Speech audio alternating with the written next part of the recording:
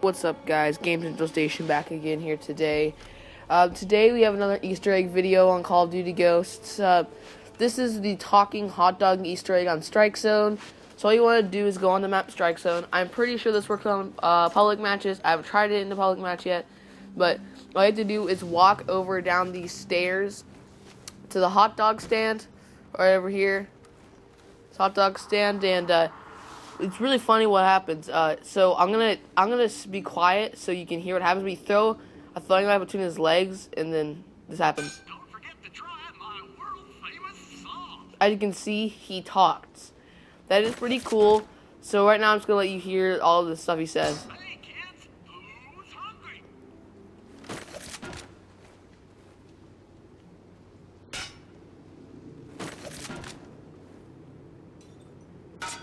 kids, who's hungry? I am the great destroyer of hunger. Yeah, but that's basically it for this video. Like, comment, subscribe.